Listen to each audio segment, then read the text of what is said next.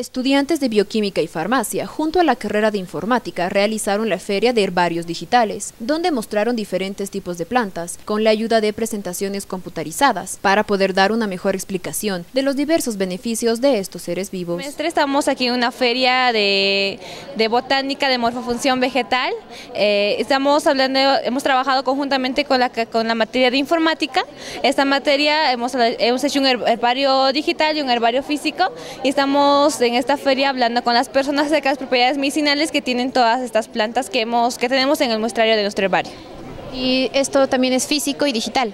Sí, eso. Eh, el objetivo es eh, intensivar a la gente que pueda aprender a través de estas dos materias juntas.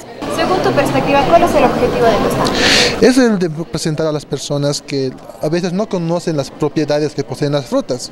Cuando, cuando, escuchan fruta, dicen es fruta, es, es sano y come, pero tienen más, más variedades que solamente es la salud.